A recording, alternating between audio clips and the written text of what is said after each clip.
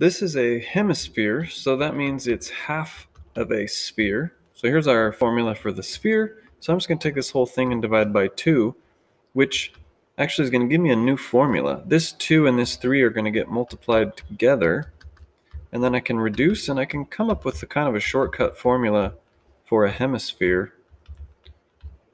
and that's 2 thirds pi r cubed. So then 2 thirds times pi times 3 fourths to the third power. Um, if you don't have a nice calculator, you'd have to do 3 fourths to the third power first, and then times everything else. But I encourage you to get a beast like this and say 2 over 3, watch how easy it is, times pi, and then times parentheses 3 fourths, parentheses, and then up to the third power.